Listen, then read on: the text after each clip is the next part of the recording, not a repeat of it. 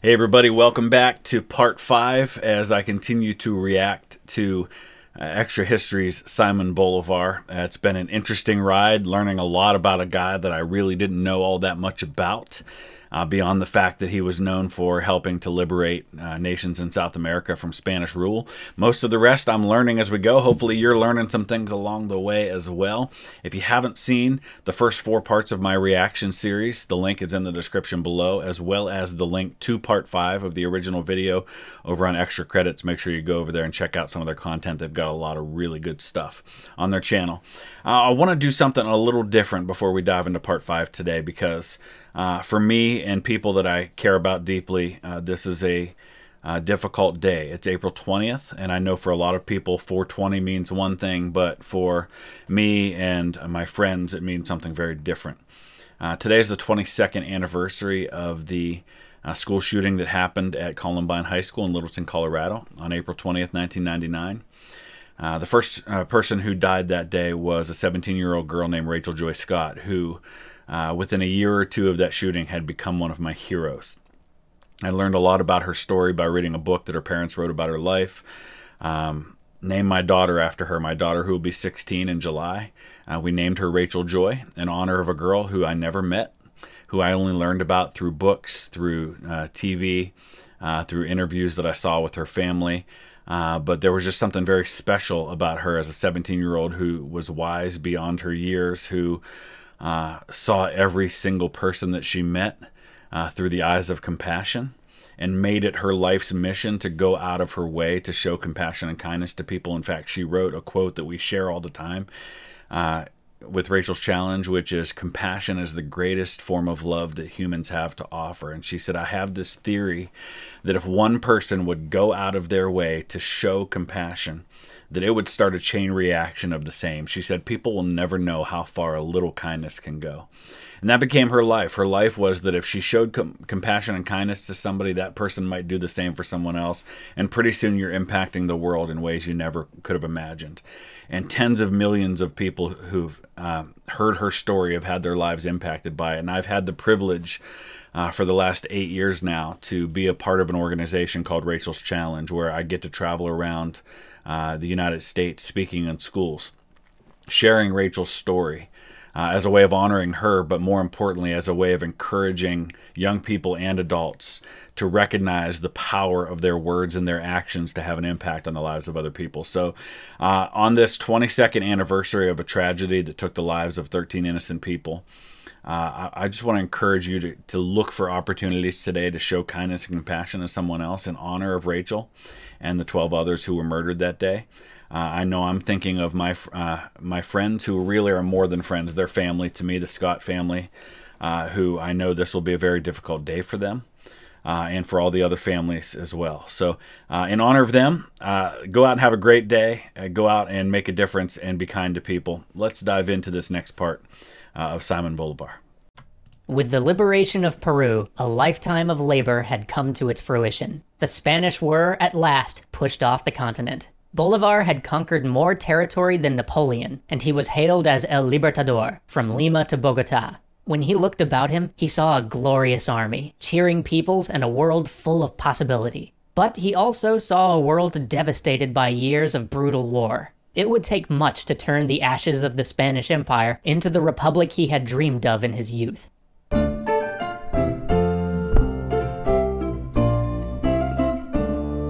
With the expulsion of the Spanish from Peru, Bolivar had thought his work would be done, but standing there in Lima, having just accepted the office of President of Peru, he finally had time to look up from the business of war and see just what a state the country was in. There were armies scattered throughout the nation, each with little loyalty but to whomever led it. There were other claimants to the presidency, and questions not only of his political legitimacy, but the legitimacy of the whole Peruvian Congress.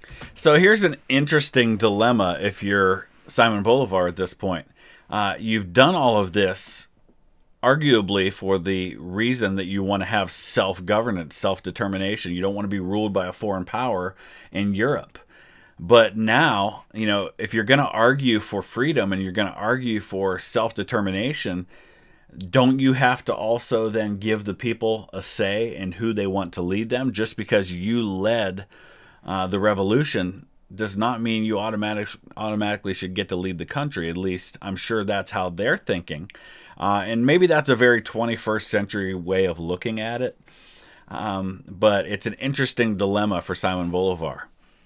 The economy was in tatters. The social inequality between native peoples, slaves, mixed race peoples, and whites was a powder keg just waiting to tear the country apart. And to top it all off, here he was at the head of a foreign army, having just liberated the country, but that liberation might start to look very much like something else if he did not quietly return home with his soldiers soon. Yep. But that was never Bolivar's way. He was gonna fix the whole thing.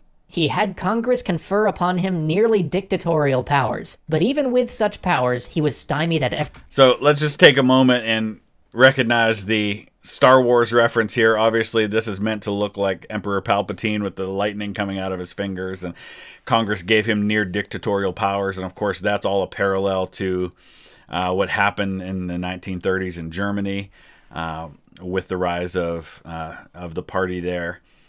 every turn. He just didn't have a sense of the intense factions and loyalties that ran deep in Peruvian politics. He often lamented that he had never stepped foot into Peru, but at the same time, Peru was now part of his plan, part of his ambition for a great South American state, or at least a federation. If he was to achieve that, he had work to do.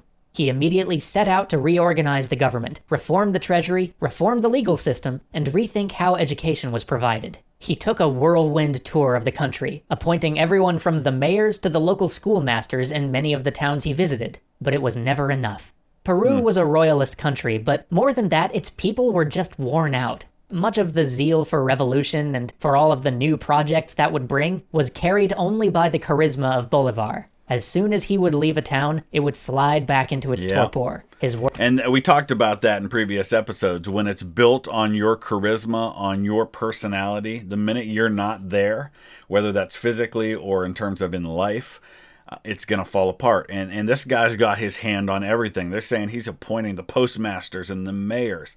When he has that much power and that much influence, it's going to leave a major vacuum when he's gone. And he can't possibly rule that much territory effectively if he's doing everything down to that minute detail. He's got to have other people doing this stuff. work undone. To his joy, he found that his old schoolmaster, the very man who had introduced him to many of the revolutionary ideas that shaped him, had returned from exile. Bolivar immediately put his old tutor in charge of the school system. But like so many that Bolivar appointed, he was not a man up to the task. He tried earnestly, he had the passion, but he didn't have the capacity to plan and organize. He had been a great one on one tutor, but when given the job of systemizing and marshaling the logistics for a whole nation's education, he was woefully out of his depth. And so it went across Peru. Hmm. Progress and reforms were slow.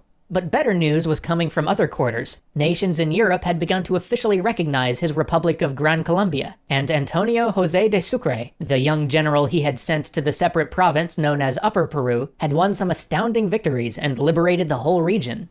But Upper Peru too came with its own questions. It And I'm wondering too, what's going on in Gran Colombia during all this time? So Gran Colombia, I mean, you're talking the modern day nations of Panama, Colombia, Venezuela, uh, primarily, but um, yeah, I'm wondering what's going on. If he's focusing all his time on Peru, what's going on back there, and is it doing okay? It was rich in silver, and so its sovereignty was hotly in dispute.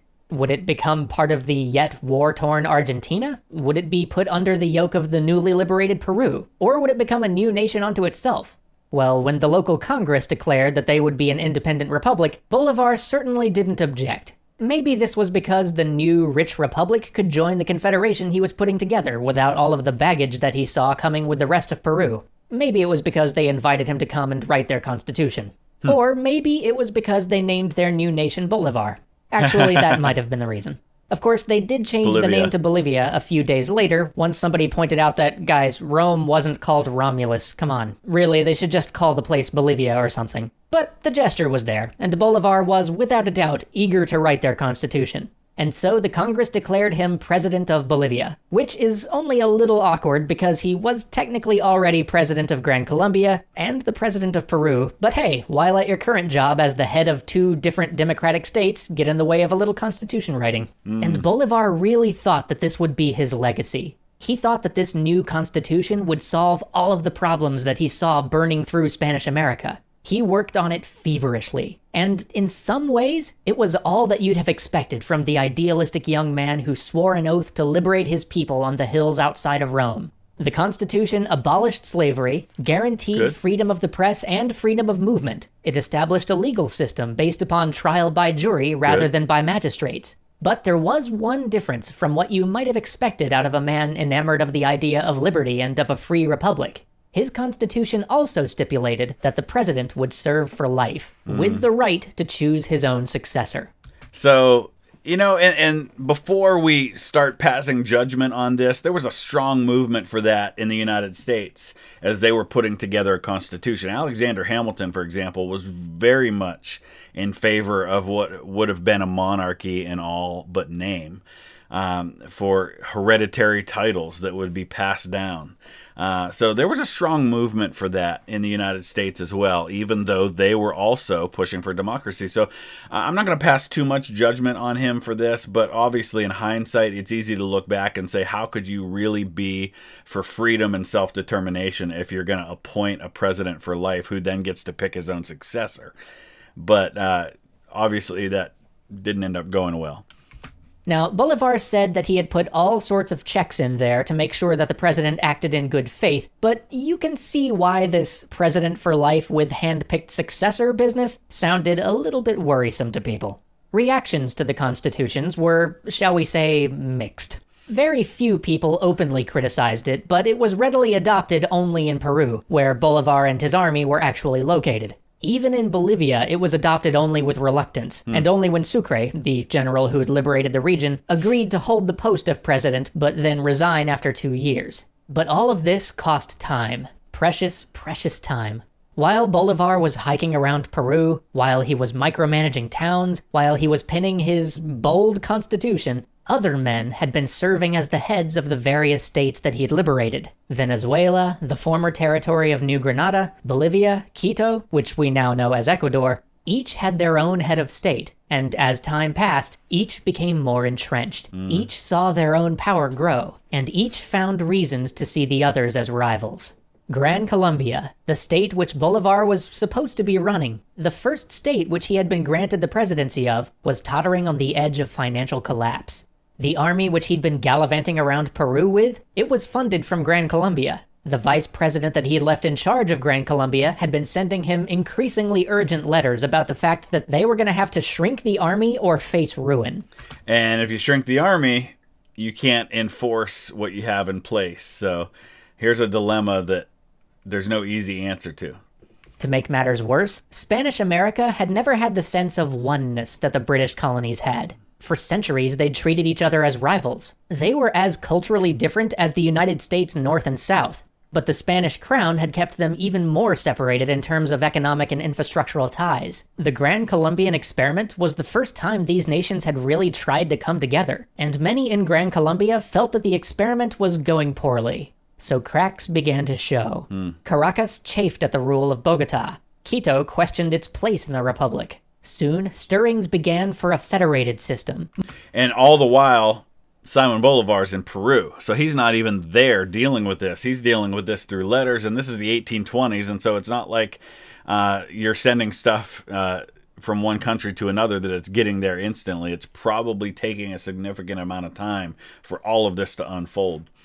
More like the United States. Not the United States we know today, but rather the loose federation of states that served as the US at its inception. The same federation that proved too weak to stand on its own and eventually had to be made into a republic. But Bolivar knew that a federated state would never survive. That if there was no strong central authority to hold them together, these states would simply fall back into their national bickering, and, in the end, the whole project would be undone. And so he called a Congress, a meeting of the Americas, to work it all out. Join us next time to find hmm. out where that Congress leads us, and where it leaves Bolivar. All right, interesting. So we can see what the problems are now. I'm wondering what this Congress is going to do uh, and, and where Bolivar plays into all of this because obviously it didn't work out because we know these are all separate nations today. So I'll be curious to know what went wrong with all of that. But let me know your thoughts about what we just talked about. If you have anything to add to what we uh, just watched, to what we just learned, uh, I'll be curious to know it. Use the comment section below. We'll be back tomorrow with part six. Thanks for watching.